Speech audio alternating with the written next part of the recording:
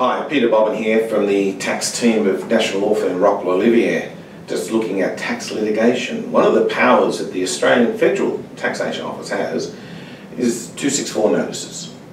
What's a 264 notice? It's where the tax office has the power to require someone to produce documents, even create documents, or come in for an interview, an interview that's recorded, an interview where the person needs to make a statement under oath.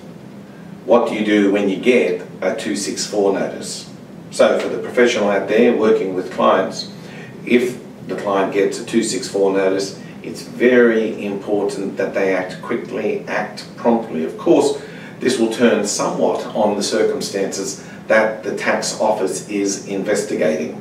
Very first thing to do is consider what are the tax objectives that the tax office is looking for.